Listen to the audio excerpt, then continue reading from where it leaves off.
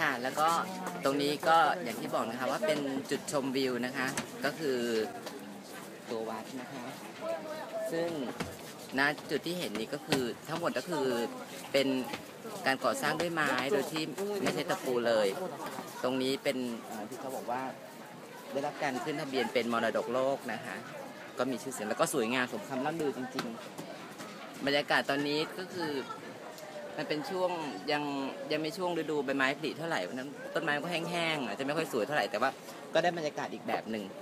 เป็นพญาไร้ใบกันหมดเลยต้นหมากรากไม้จริงๆเขาบอกว่าเป็นต้นซากุระหมดเลย ถ้ามาช่วงซากุระออกอีกทีก็คงจะสวยกว่านี้ เดี๋ยวเดินไปข้างในเดี๋ยวจะไปกินน้ำแม่น้ำสามสาย